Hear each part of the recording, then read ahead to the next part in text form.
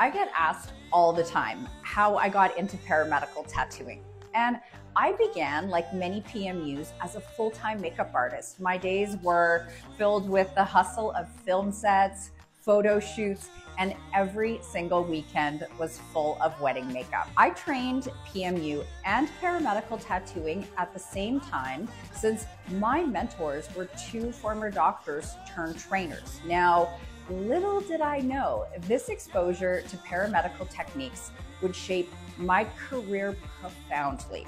I found myself in a unique position. This blend of cosmetic PMU and paramedical work became a staple of my weekly schedule. I was diagnosed with thyroid cancer. I underwent a thyroidectomy, leaving me not only with a scar, but also battling depression and anxiety due to fluctuating hormone levels. With determination, I utilized my paramedical skills to camouflage my own scar, reclaiming my confidence in the process. As my reputation grew, so did my team and client base, not only for paramedical, but also for new PMU clients.